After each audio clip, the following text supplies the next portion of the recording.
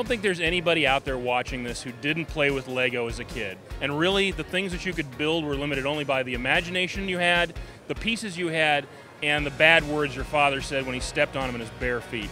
But somewhere along the line, building things got complicated and became a chore instead of fun. Things like, well, say headers, for example.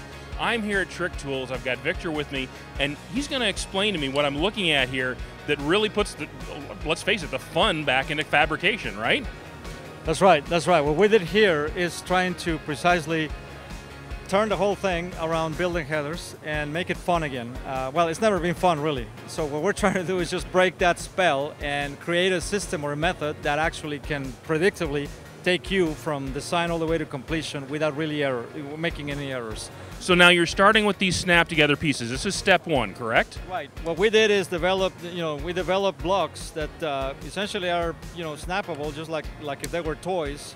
We gave them each one exactly one inch in arc length, so you're able to control lengths, and they uh, then with that we're able to create strings of assemblies, you know, tubular assemblies that take the shape of whatever is needed based on your specific application. If you got a Dodge you know, steering rods or brake boosters or simply find the appropriate length that you need. It's all a matter of just counting blocks and finding the way to snake those things around. So you can mock up the complete exhaust in basically the real space that it's going to live and come up with a design that you can actually build. Our product is real-time, full-scale, immediate feedback. So if, it, if you're hitting something with the plastic blocks, don't even try in metal because it won't work either. So we're all the mistakes, all the errors we're doing at the level of the plastic. And it takes a second to essentially change the shape, change the route instead of throwing away metal. So now once you've got that all worked out, then we move on to step two, and this is where you're going to save a lot of headaches and a lot of material. Right. Same thing. You know, you develop the model, you create the cutting guide that will tell us exactly what we need to cut, and we got straight into the cutting and cutting exactly what we need, nothing else, nothing more.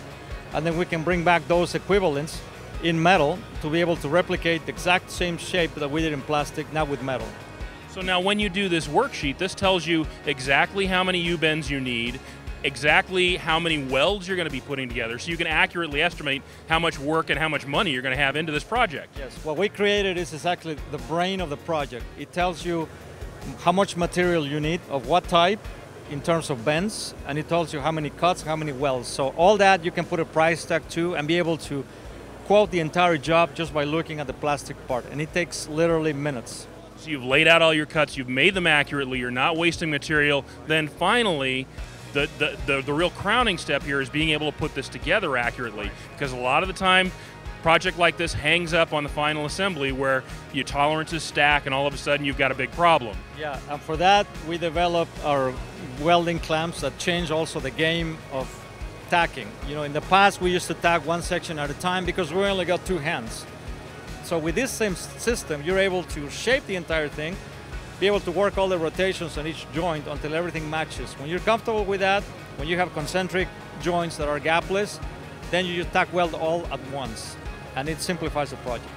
Now, where can people go to find out more information about this, or order the order the system and get started on their own? You can follow us directly through Icengineworks, or you can follow also uh, through Trick Tools, is one of our distributors, and uh, you know, give us a call.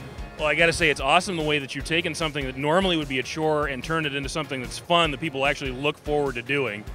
For Power Automedia, I'm Paul Huizenga. This is the 2015 PRI show. Keep it right here. We got a whole lot more to show you.